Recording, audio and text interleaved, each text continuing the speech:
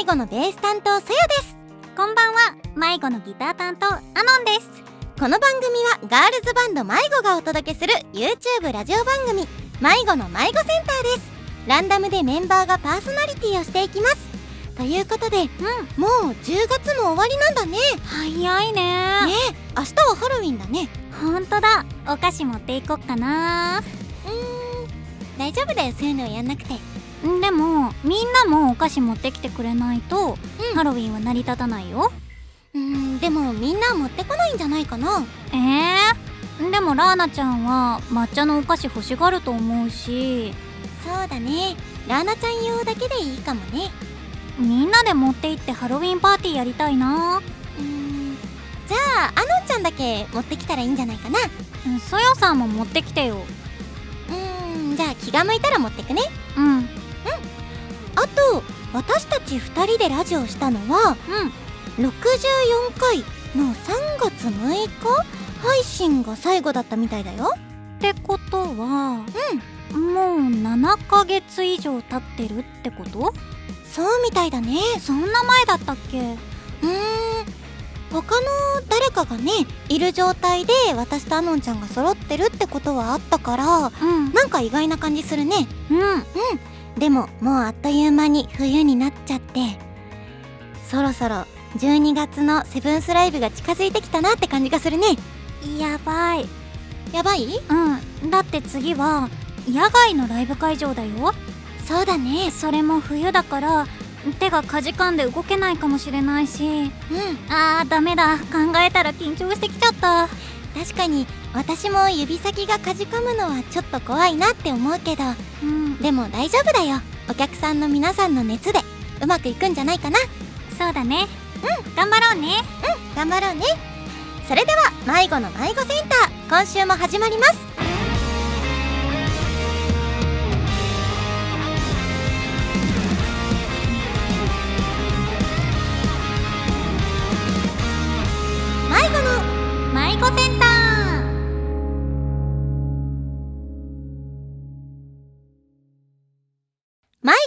迷子センター。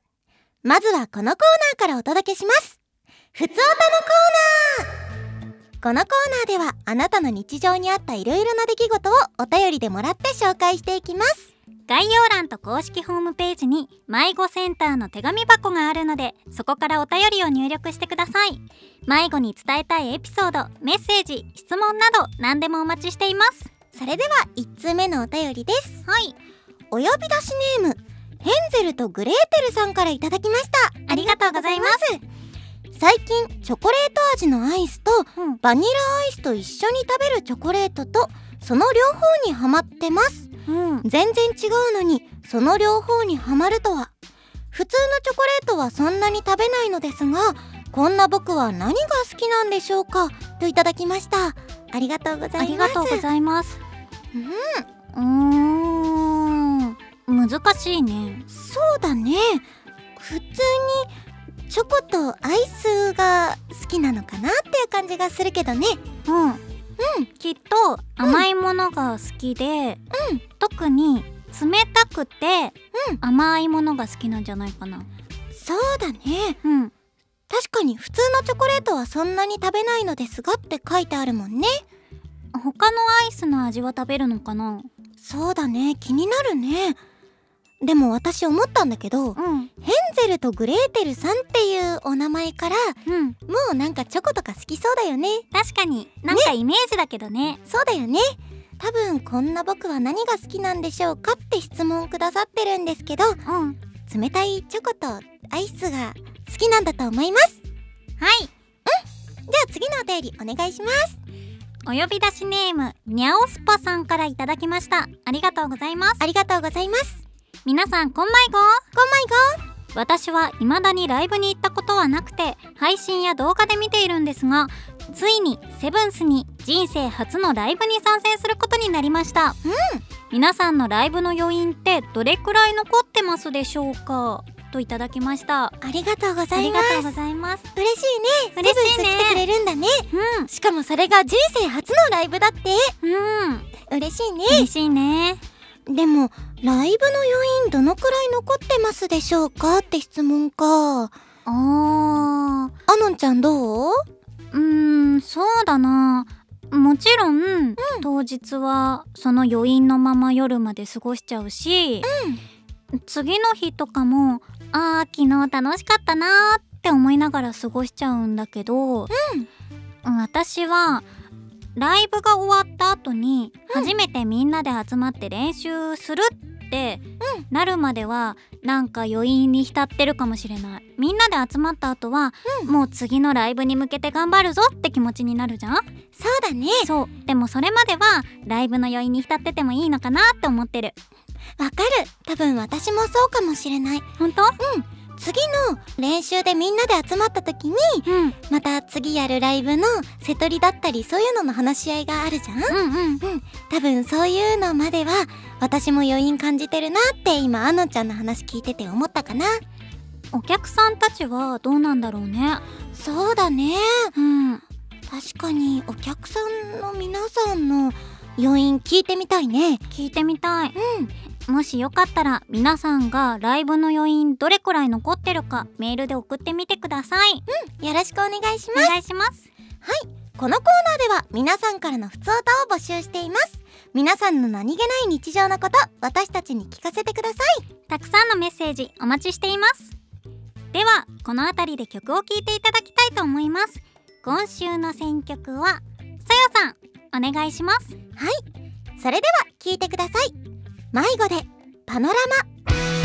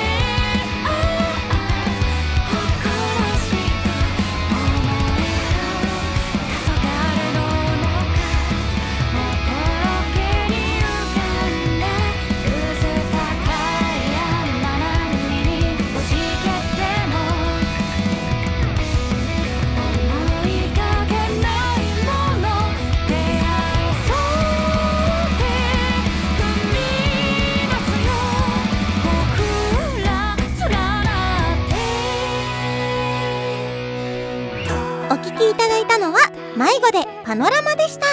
はい。やっぱりねこうライブの余韻を感じるのにうん。まあシックスライブのあの最後の曲っていうのもあるし、うんパノラマはちょうどいいんじゃないかなと思って選んでみたよ。確かに。パノラマとか、あと私は種火もアンコールの最後の曲でやることが多いじゃん？うん。だからライブの思い出に残りやすいなって思うそうだね。うん。やっぱりこう最後でみんなでシンガロングとかするとうん。やっぱりその時のライブの景色っていうのがより鮮明に焼き付くなって思うから私も種火は結構余韻に残るなって思うよ。ということで迷子センターでは私たちと一緒に聴きたい迷子の楽曲のリクエストもお待ちしています。あなたの迷子の推し曲教えてください。よろしくお願いします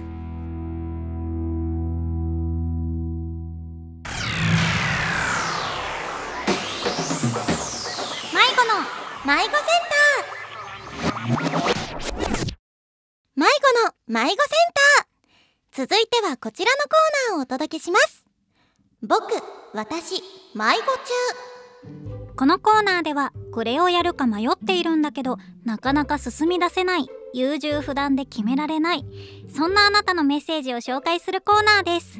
概要欄と公式ホームページに迷子センターの手紙箱があるのでそこからお便りをお待ちしています。それでは紹介していきます。はい。お呼び出しネームそっこさんからいただきました。ありがとうござありいます。がとうございます。迷子の皆さんこん迷子こん迷子私には優柔不断で決められないことがあります。うん。それは仕事帰りに自販機やスーパーで買う飲み物の種類です。うんうんコーヒーの気分だなぁと思っていても種類が多いですし他の飲み物でも種類が多くてなかなか決められません。ぜひ疲れてる時におすすめの一杯を決めてくださると嬉しいです。また迷子の皆さんは迷った時何を飲みますかといただきました。ありがとうございあます。りがとうございます。これさ、うん。私おすすめあるんだけどいいかな？うん。私は迷った時というかうん紅茶を飲むことが多いんだけど、うん。このそっこさんが疲れてる時におすすめの一杯っていう風に聞いてくださってるんだけどうん。まずね紅茶自体に疲労回復の効果があるんだって。そうなんだ。そう。でもその紅茶の中でもうん。レモンティーがおすすめでうんそうレモンの果汁とそのレモンの香りでリフレッシュ効果とかうん。あとはね血行を促進する効果みたいなのもあってうん。より疲労回復の効果が高まるんだって。へえだから自動販売機にレモンティーがあるかっていうのはわからないんだけどうん。入れられる時にレモンティーとか飲んでみたらいいんじゃないかなと思って。確かに。これはおすすめです。さやさん詳しいね紅茶のことならね。あのんちゃんは何かある？うーん私は難しいけど、やっぱ疲れた時って甘いジュースとか飲みたくならない？あそうだね。だから炭酸の甘いジュースとかで元気出したり、あとはあんまり良くないかもしれないけど、カフェインとか取ったら、その後も頑張れる気がするそうだね。うん。やっぱ糖分とかは脳にいいしね。うん。まあカフェインも取りすぎには気をつけてほしいけど。そうだね。でも飲める時にはねカフェインとか取ってその後も頑張れたらいいよね。うん。ということで今おすすめした飲み物たち飲んでみてください。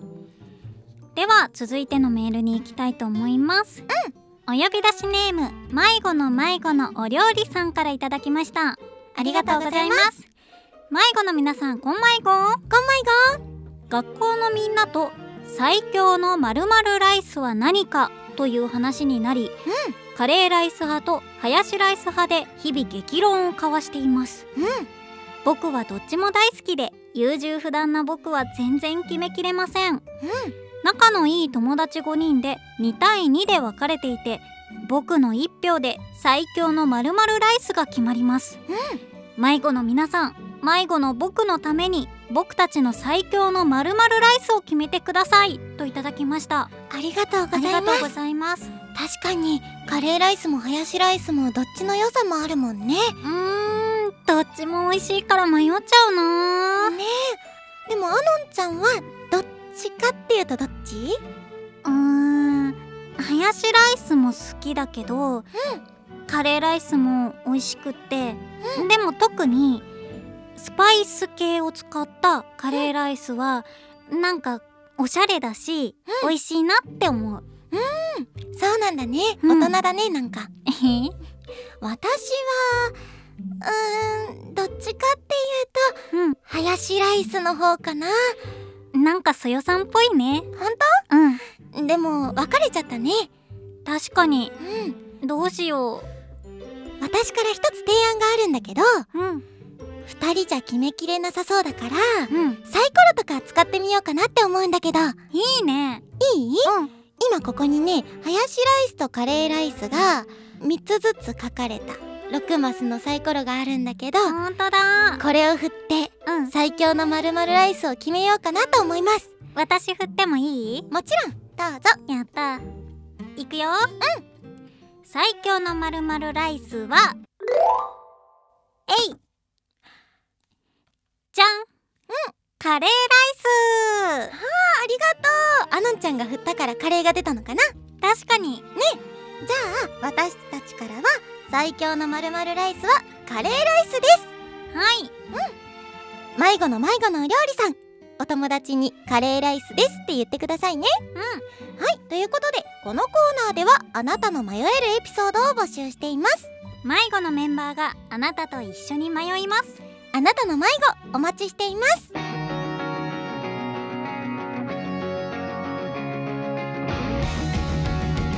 迷子の迷子センター。迷子の迷子センター。今週もエンディングのお時間がやってきました。はいなんかさっきのお便りの話してたらさ、うん。お腹空いてきたね。わかる。ね。私もカレーライス食べたくなっちゃった。そうだね。私もさっきハヤシライス派って言ったんだけどうん。なんかカレーライスに決まったから、うん。カレーライス食べたくなってきちゃったな。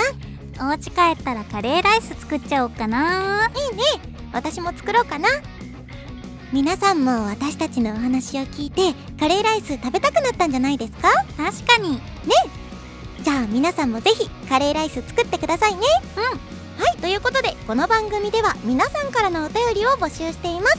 この動画の概要欄と公式ホームページに迷子センターの手紙箱があるのでそこから番組へのお便りを送ってください。迷子の YouTube チャンネルではオリジナル楽曲の MV やライブ映像を公開しています。私たちの音楽やトークがいいなと思った方はぜひチャンネル登録と高評価をお願いします。そしてお知らせです迷子セカンドアルバム「道のく」が12月18日にリリースとなります。新規制作楽曲を含む全12曲に加えてブルーレイ付き生産限定版 AB にはそれぞれ ZEP ツアー愛知公演6ライブの映像が収録されています。ぜひチェックしてくださいね。さて迷子センターいかがでしたか？今後も水曜夜7時に配信予定なのでお楽しみに。来週も迷子メンバーが皆さんのメッセージと一緒に番組をお届けします。番組の感想は「ハッシュタグ迷子集会」をつけてどんどん投稿してください。今週のお相手はベース担当そやとギター担当アノンでした。それではまた来週。以上迷子でした。バイバイ。